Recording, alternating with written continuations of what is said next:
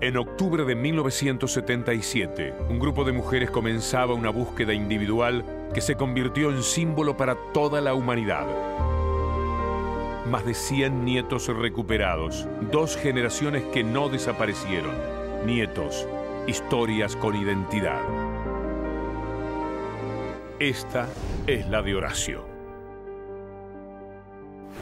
Liliana Corti y Horacio Pietragala se conocieron en la Facultad de Filosofía y Letras de la UBA. Ella tenía 26 años y él 27.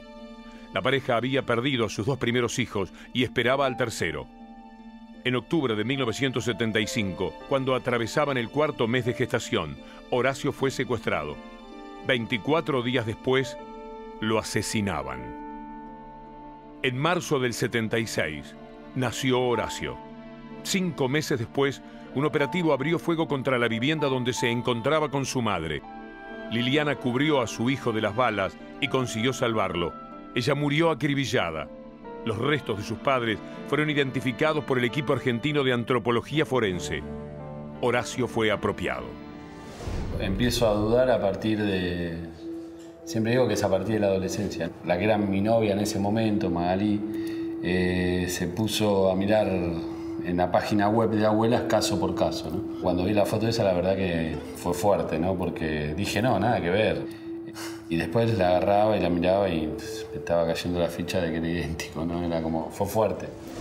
Octubre de 2002. Un programa de televisión producido por las abuelas llama la atención de Horacio. Acude a la CONADI. Abuela ya trabajaba en su caso.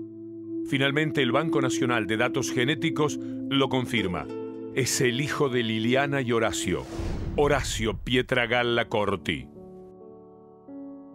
Y bueno, dije, soy Horacio. Nada, las abuelas, ¿qué Horacio? Me decían, ¿no? Horacio, que fue con dudas, eh, que era César, pero ahora soy Horacio.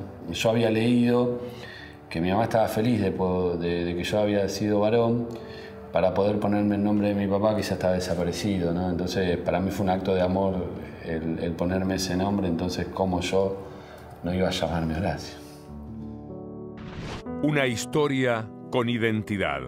Un país que persiste en la búsqueda de la verdad. Todavía están secuestradas cientos de identidades. Si naciste entre 1975 y 1980 y no estás cómodo con quien te dicen que sos, acércate a las abuelas de Plaza de Mayo